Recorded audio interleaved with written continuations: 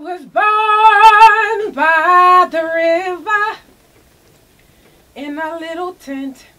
And oh, just like that river, I've been running ever since. It's been a long, long time coming. And I know a change is gonna come. Oh, yes, it is. It's been too hard living, but I'm afraid to die. I don't know what's up there beyond the skies. It's been a long, long, long time coming, and I know a change is gonna come. That's right, y'all. I'm Kim Poole. Kim Poole live here on Art McCoy's University of Common Sense. 1490, the People's Station of Cleveland, putting it down live. Kim Poole Music with the Super Lashes. Make sure you check us out and make sure you stay tuned. www.kimpoolmusic.com. That's K I M P O L L E music.com. See you at the top, baby. I think I, I think I'd, I'd like to. I might as well go on and break down one of the uh, elections. Uh, uh, we'll start with the city of Cleveland. Uh, we have uh, Zack Reed, uh, Councilman Zack Reed, and we have Mayor Frank Jackson. It's, yes, it's election yes, time sir. coming right around the corner, and so on a breakdown of that, it's very simple to me. Uh, I think personally that Zack Reed uh, started too late.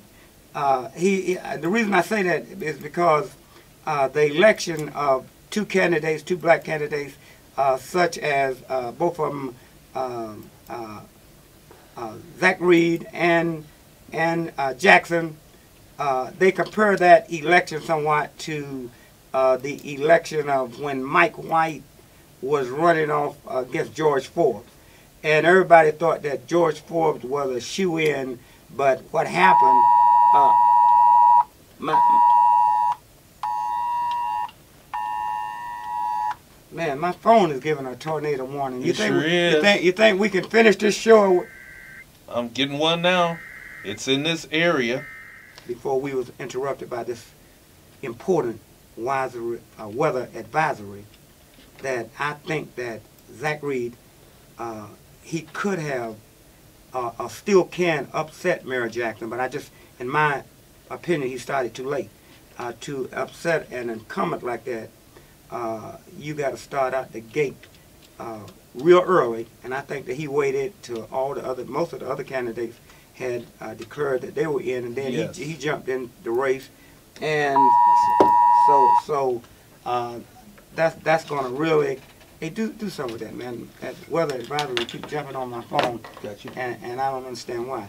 Uh, but uh, at the same time, at the same time, I think he started too late. I got my thought process together, uh, even uh, with the storm. I think that he started too late, and it will be a problem for him. And also, I think that uh, the fact that uh, in a sense, he kind of might have uh, sold himself out to the devil. No, I shouldn't say the devil. That's that's the wrong word to say. Uh, uh, what I want to say is is is not the devil, but I think uh, he might have uh, sold himself out to the CPPA and Loomis. That's what I meant to say. And y'all forgive me. Uh, strike that word devil. And because I've noticed in in a lot of previous elections, uh, from Lanci to uh, several others. I don't know if it was Patman, or, but uh, several others. That the people, that the uh, candidate, that the CPPA, the uh, uh, Pol- Pol- Police Patrolman Association endorsed, uh, they always uh, came in second That's and right. and you can't win uh, coming in second. So uh, I know why Zack Reed would take on uh, and uh, the endorsement of uh, the Patrolman Association is because uh, he think that that can help him uh, in the West Side dealing with the white vote. And maybe it can, or maybe it can't. But uh, so far, uh, like Ken Lanci found out, that the CPPA, uh, uh, uh, the union weren't able to to turn out the vote like one might think it's turning out. Boy, they're jumping off everywhere, aren't they? I told you, I don't know how to, I don't know how to, I don't know how to get it. I don't know how to deal with it. So, uh, so anyway, Police Patrolman Association. do you think he focused too much on getting the white votes or the West Side votes and not really getting some of the black black votes and black, you know, talking about black issues besides the safety first? I think he kind of was trying to get other votes and maybe assumed that oh well they'll vote for me because I'm black. Well, well, I, well, I understand. He, uh, I, I understand his his strategy.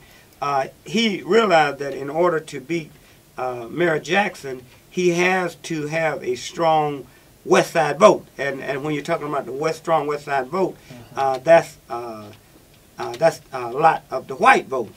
Uh, so I understand his strategy, but in the past, that strategy hasn't worked because uh, uh, Jackson has has a strong uh, white vote support over there. You know, he he's the way West Park look and some of those West Side uh, areas that he's concentrated on. They they all Jackson, West Park and all that. They're they're all Jackson. So it's going to be very interesting if if he can pull it off like that. Before we go to break, I think we spoke earlier about this. In my opinion, he could have inverted the whole thing. He's trying to get the police on his side and different things.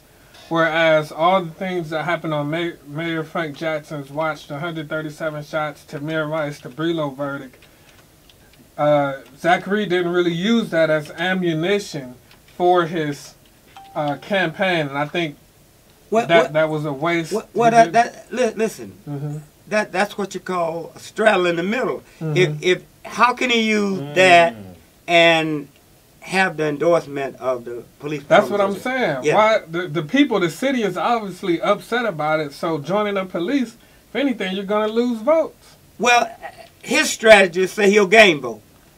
His strategists say say The votes he needs, he thinks he needs, right? The yes, West Side yes, that, that, that's his strategist. Mhm. Now now we'll see how. He's how. taking us for granted already. It yeah, like. yeah, yes. Listen, uh, we we got we got to take a break.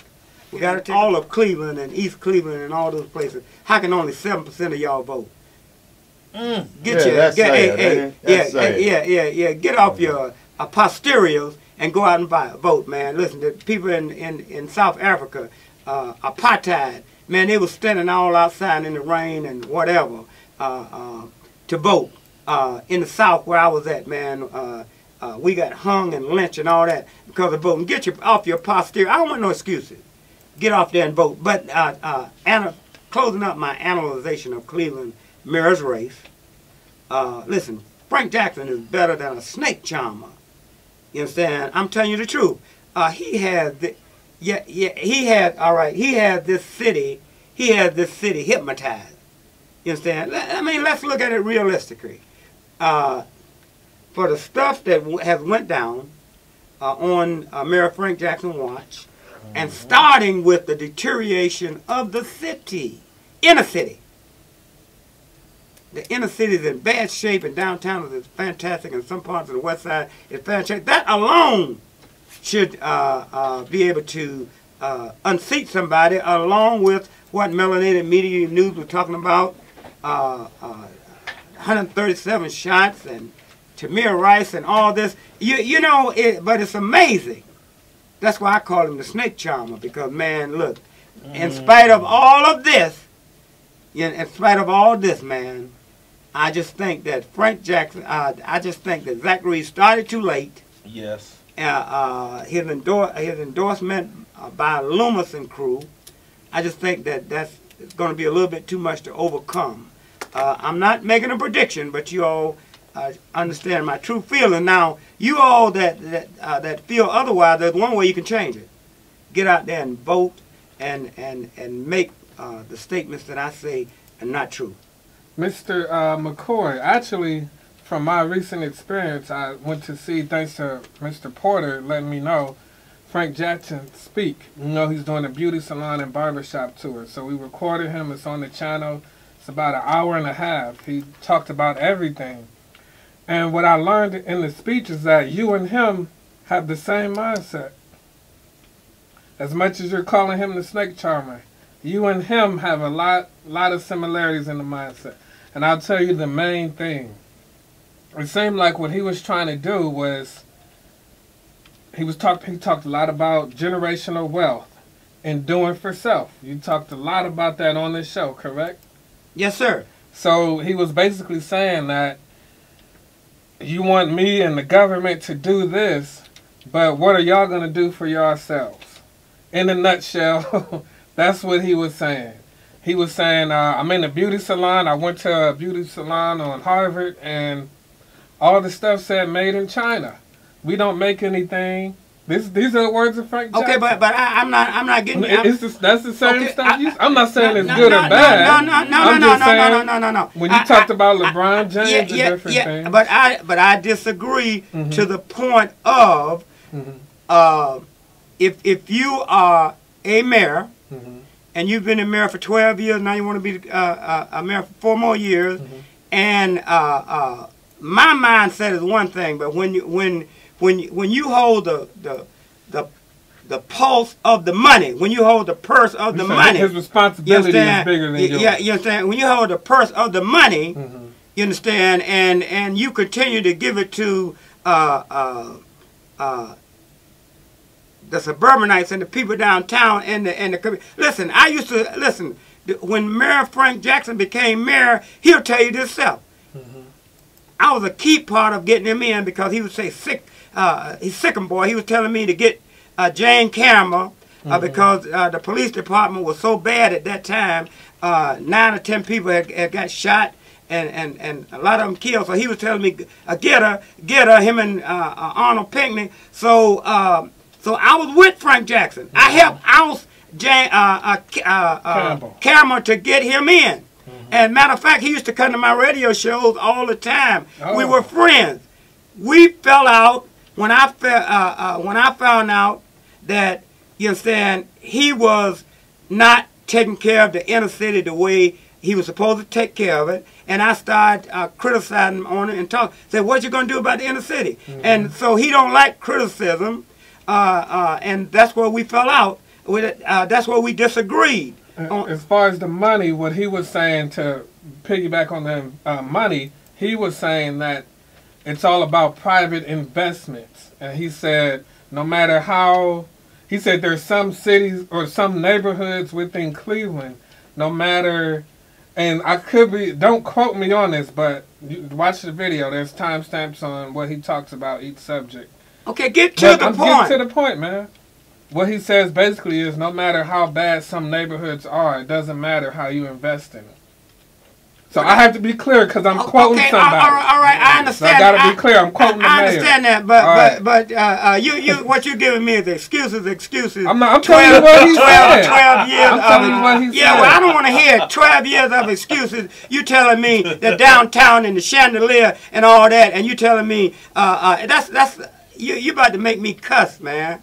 Because because it's excuses, excuses, excuses. If if if, if he want to do something for the inner city uh, uh, to uplift us, you understand, he can do it. You understand, whether he use his lackeys downtown, the corporate people, the same way the corporate people, uh, he can get the corporate people together to to uplift the, the parts of the city that he can get them to uplift. He can do the same thing for the inner city. I don't Well, buy it. well, man. one, one of the in relation to that last thing I say, one of the two questions I asked him was he released the youth prevention thing, that 36 page thing, and he said it's um, extended recreation hours and different summer youth programs. But I said, because I worked for one of the summer youth programs years ago, I said in these programs generally you don't see at risk youth. Like the people, you're trying to uh, prevent crime, the people that are in these programs aren't really committing the crimes. And he didn't really have an answer for that as far as um, how to really target at risk youth from preventing the crimes. So that was one of the things I think you're going to talk about how to help the inner city. He talked about like if somebody, if a youth or something is on parole or a young adult is on parole, there's a program. But as far as preventing the actual from. So so so what what what you're telling me, what you're giving me is is is a is what you're giving me is, is a synopsis Mhm. of a politician uh, a plan right before election. That's what you're giving me. Mhm. That's what you're Well, this giving was me. going on during the summer. Well, I, but, but what you're giving, well, it, it, wasn't you running during the summer? Yeah. What you're giving me is is a synopsis of a politician's uh, plan right before the election.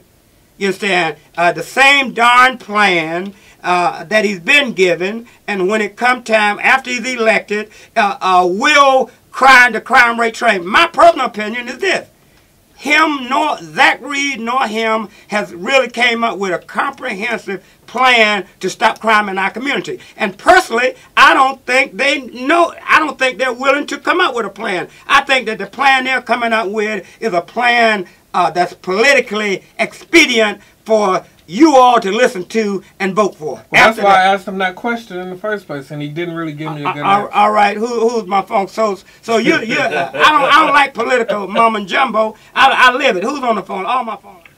Art Al Sam. Yo, I'm not comfortable with you saying that um, Mayor Frank Jackson is a snake oil salesman because I'm taking some things into consideration that I'm Charmer, acutely aware snake, of. snake charmer, One, snake charmer.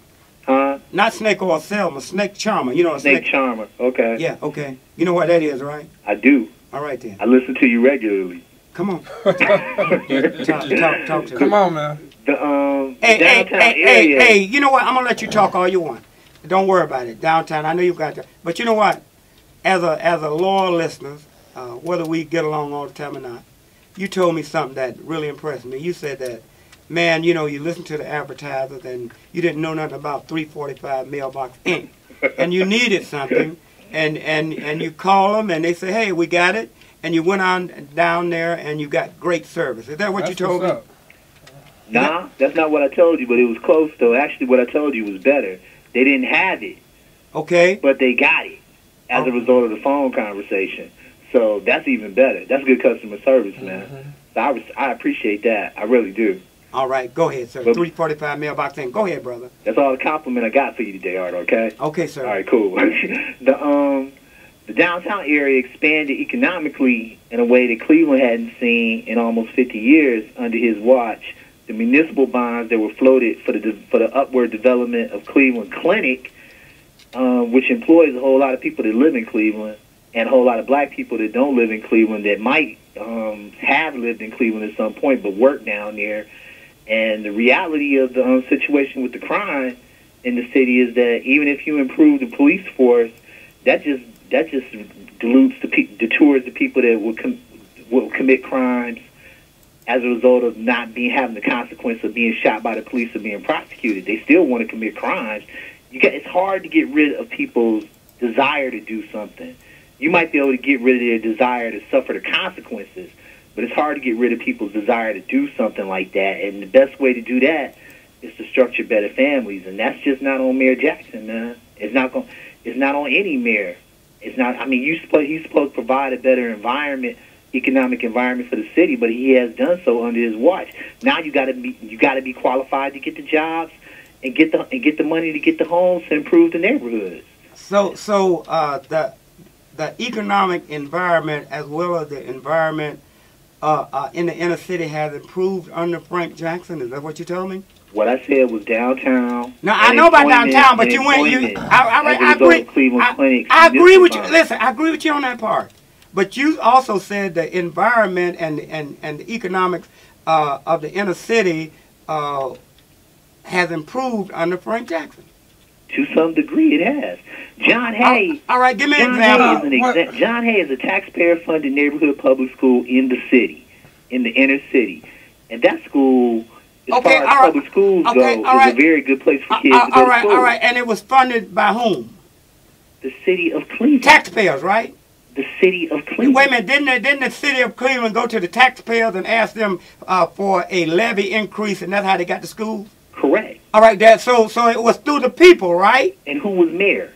Okay, all right, all right. I understand. Uh, okay, all right. So, but but the people had to approve it, right? Yeah. All, all right. So so so what are you saying? I'm saying that the dude's not a snake a snake charmer. He's a, he's a public official that's limited in his ability to get Let- things done correctly let- and in, and Come on, yeah, whatever you do, just uh, we, we Todd, um, this is a this is a common thing you do. You take a small portion like you. and you no, because you, you've done this before. You take a small portion and you make it represent the entire picture. There's a saying: the needs of the many outweigh the needs of the few. The few you refer to are the people downtown. The people are the residents, the majority of people within the inner city. You keep referring to a small portion of people, and it doesn't represent the needs of the many. What most I'm of doing most of is hold on one last I thing. always Ten more. talk in specifics. I don't try to use specifics to apply to apply to the general population unless it does apply to the general population. But you cannot discount the value of all those people being employed by the Cleveland Clinic. You cannot discount the value of John Hay, uh, inner city school, or the expansion Who- of economic who's development in downtown. And let me add this, I gotta go. Let me just add this one last thing Go ahead, sir. in Ward 1, which is the Cleveland ward that I care the most about, Whitney Young is in construction. Kennedy, the new Kennedy is on the way. And although Ward 1 has some serious problems Oh, with oh, crime itself, oh, okay. it's on the downslope. All right, all right. You talked about the buildings. Okay, I like that. You talked about the building. Let me ask you this question: Have have the educational system with the children improved uh, under the uh, under the leadership of Mayor Jackson in the last twelve years? Yes.